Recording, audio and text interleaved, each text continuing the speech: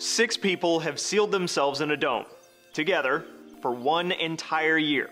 It's part of the ongoing Hawaii Space Exploration Analog and Simulation, or HI-SEAS experiment. Essentially, it's to help NASA figure out how isolation and lack of privacy for long periods of time affects people. Useful information for, you know, any future astronauts spending long stretches of time traveling to and living on the surface of Mars. A year will be the longest time frame volunteers have ever sealed themselves inside the dome. The previous mission lasted only 8 months and finished up in June.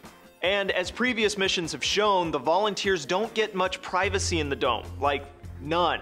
At all but that's also kind of the point. And they do get to go outside every now and then, just as if they were actually on Mars, except they're actually on Hawaii, of course. The research project was started by the University of Hawaii at Manoa in 2013 and is funded by NASA. The missions team consists of a French astrobiologist, German physicist, and four Americans, including a pilot, an architect, a journalist, and a soil scientist. Let's hope they don't all hate each other come this time next August. For Newsy, I'm Cliff Judy.